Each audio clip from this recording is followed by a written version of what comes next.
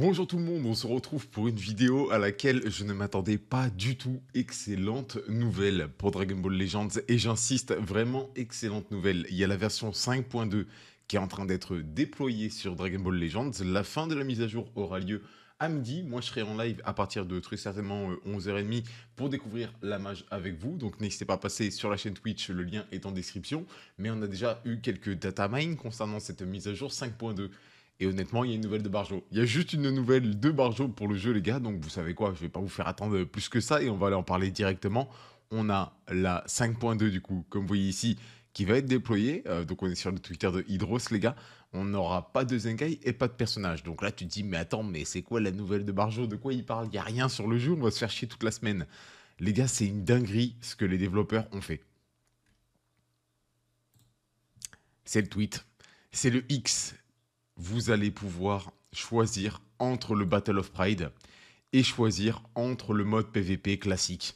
Si Toshi, il n'est pas sur mes vidéos, les gars, si Toshi, c'est pas un singe, je sais pas. Je sais juste pas. Donc, en vrai, incroyable nouvelle de la part des devs pour Dragon Ball Legends le retour du Battle of Pride, mais pas le retour du Battle of Pride en mode c'est un mode imposé, en mode vous n'avez pas le choix, pendant deux semaines c'est le Battle of Pride, et puis pendant deux mois ou trois mois après il n'y a plus le Battle of Pride. Non, vous allez pouvoir jouer aux deux, vous allez pouvoir créer une équipe pour le Battle of Pride et vous allez pouvoir créer une équipe pour le mode standard. Et là où ils ont été très malins, c'est qu'en fait, bah, tout simplement, c'est deux types de règles différentes. C'est tout. C'est comme quand tu joues à un jeu de cartes TCG, des fois, tu as deux types de règles différentes. C'est comme des fois, je sais pas, tu joues à, certains jeux, je pense à League of Legends, il me semble que tu as deux, trois modes différents. De, je crois qu'il y en a un, c'est du 3v3, là, c'est du 5v5. voilà, c'est tout. Tout simplement, en fait. Et tu mets les modes en coexistence.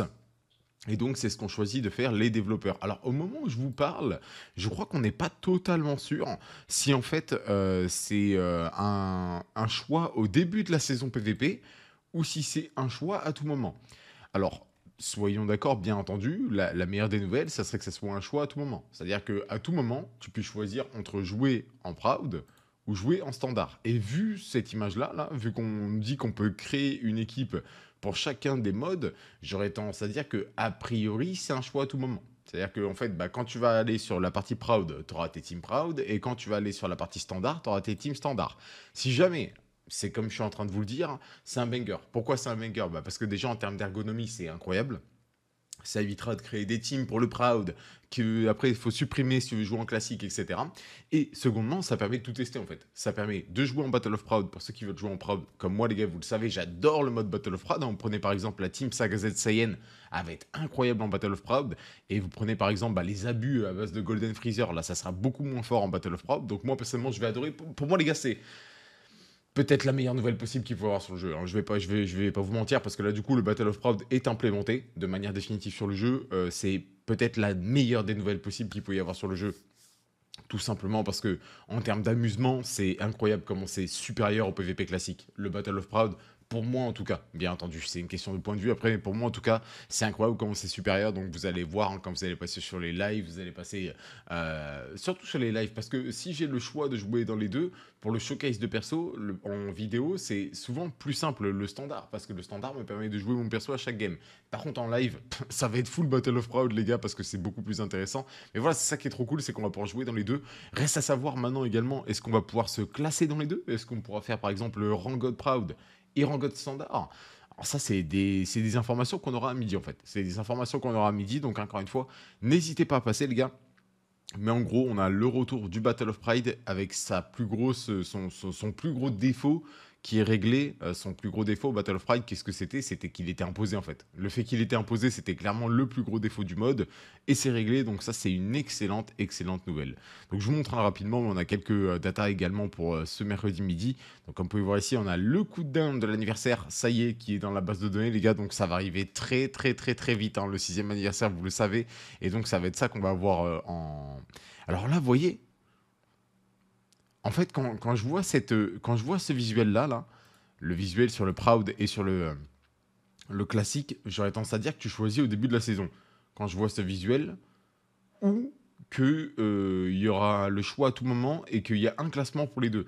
En fait, les gars, il y a tellement de questions à se poser par rapport à ça. J'ai trop hâte de voir comment ils vont faire. hein. C'est une trop bonne nouvelle, mais alors par contre, j'ai trop trop hâte de voir comment ils vont faire. Il y aura également le Goku Day qui sera là, comme vous pouvez voir. Donc le Goku Day sera là à partir du, du 5 mai, euh, du 9 mai, pardon. Euh, le Goku Day sur DB Legends, c'est toujours un petit peu éclaté. Ça sera encore éclaté ici, vous allez le voir, puisqu'on va avoir un portail. Euh, vraiment pas dingo. Et puis il y a également des nouveaux équipements qui sont là. Donc on va pouvoir aller voir ce que font les équipements. Il y a le retour de Kid Ultra, il y a le retour de euh, Rosé Ultra. On a cet équipement-là qui est euh, Chopin Éveil. Et on a un nouveau équipement platine. Donc, comme vous pouvez voir, c'est encore des hubs pour les sagas Z Science. Ce qu'on va faire, c'est qu'on va gentiment aller voir ça. Du côté du site, euh, voir ce que font les items exactement. Donc, je vous propose rapidement. Bim, on retourne sur le jeu. Je vous rappelle encore une fois, la maintenance a fini à midi. Nous, on sera en live à partir de 11h30. Je suis trop refait. Vraiment, c'est abusé comment je suis refait. C'est une dinguerie comment je suis refait. Euh, tac, je vais juste prendre les items et vous les mettre de côté. On va aller en parler. Donc, retour de Kid Buu et de Rosé. hein. A priori, euh, vous invoquez pas, bien entendu. Euh, Est-ce que ça peut avoir une incidence, une coïncidence avec ce qui va arriver à l'anniversaire C'est possible. C'est possible. Donc, le, point commun, c'est mi-puissance, c'est régène. Au niveau des persos, on a quoi? On a non, bah non, Rosé n'est pas régène. Mais ça fait penser à Gata Izamasu en tout cas. Ça fait penser à Gata Izamasu, ça c'est clair et net. Alors, le premier équipement unique. Oula Oula c'est pour les Sai...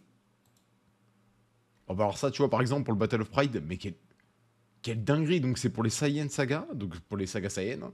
15% de force, 35% de double def et 5% de dégâts infligés. Hein? 5% de dégâts infligés? Putain, mais, mais ils ont craqué, ils ont complètement craqué là sur l'item. Attendez, c'est mal cadré pour vous, je suis en train de voir.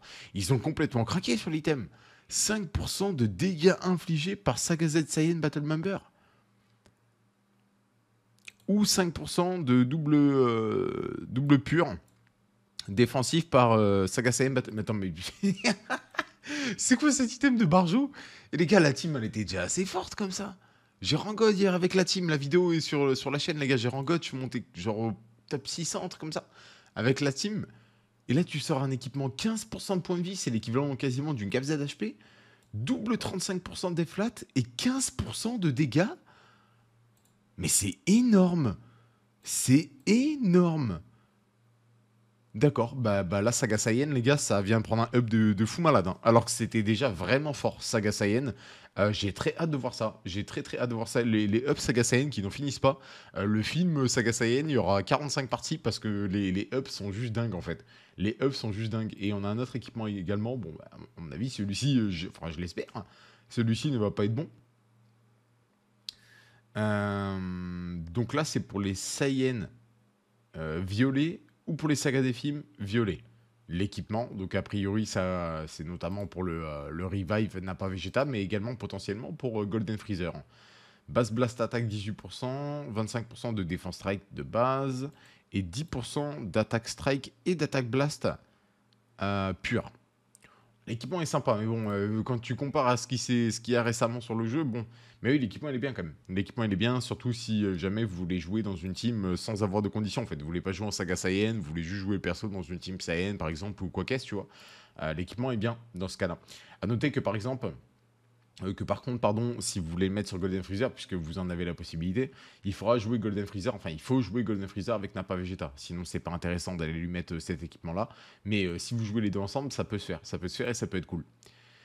Donc les gars, euh, ben, incroyable, incroyable, je reviens toujours pas honnêtement, je n'en reviens toujours pas, c'est incroyable, c'est une trop trop bonne nouvelle, le Battle of Pride qui va être là euh, en mode euh, permanent sur euh, Dragon Ball Legends, c'est clairement la meilleure nouvelle possible pour moi sur le jeu.